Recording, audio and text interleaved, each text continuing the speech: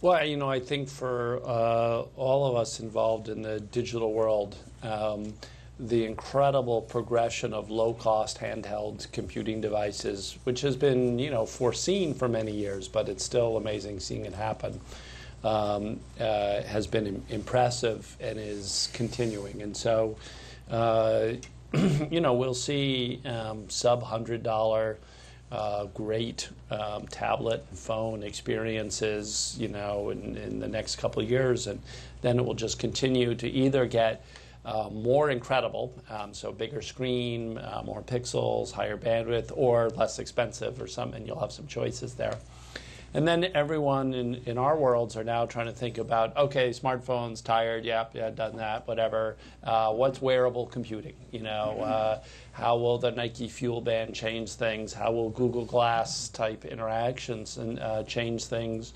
How will you know pervasive cameras, uh, you know, and um, and co- connectivity change things? And so there's a a whole second level of digital explosion that people are trying to think through about uh, measured self and and um, that the technology is is five or ten years from being mainstream, but it will be there, uh, and so that's uh, you know taking a lot of time, I would say.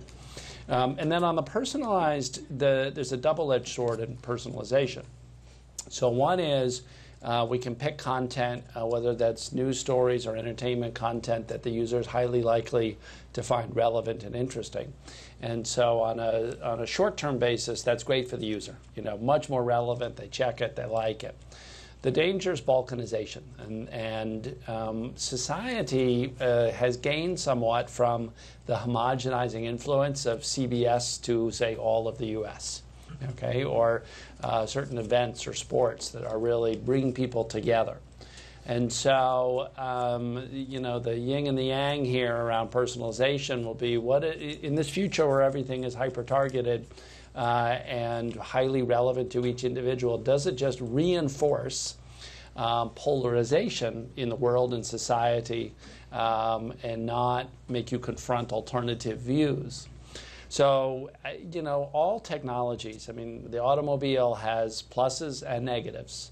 Uh, the internet has pluses and negatives, and personalization has pluses and negatives. And it's up to all of us to figure out, you know, how to harness the positives and mitigate, you know, the downsides. And, and no technology, you know, doesn't have a balance of those. So I think we're all just figuring that out. Yeah, I, I couldn't agree more with um, the importance of keeping an eye on that balkanization, that sort of the silos. I mean, I think for the next uh, group that you have, you should you should send a car up and pick up uh, Peter Koechley and Eli Pariser at uh, Upworthy. Um, Eli wrote a book called The Filter Bubble, which is required reading if you're trying to think about this um, uh, issue uh, in any depth. And it, it really is quite um, scary. It's sort of the, the digital analog of people moving into gated communities and you know sending their kids to the same schools and expecting us to all get along and uh, it's, just not the case. Um, it's, it's one of my biggest concerns about this, and sort of one of the things I seek to do in this work is really try to figure out ways that we can uh, e expose people to new ideas and, and, facilitate that kind of debate online.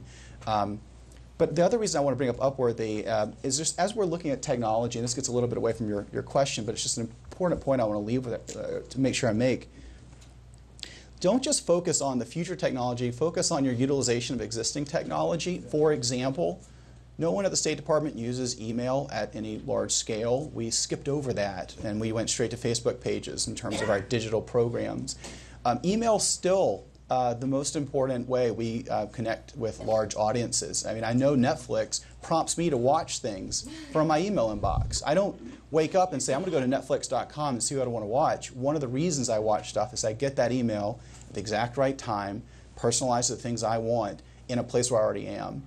I know the campaign in 08 and 12 drove a lot of fundraising and organizing through email lists, and I know media companies like the Politico Playbook email that you're probably all subscribed to, you know, that moves conversations.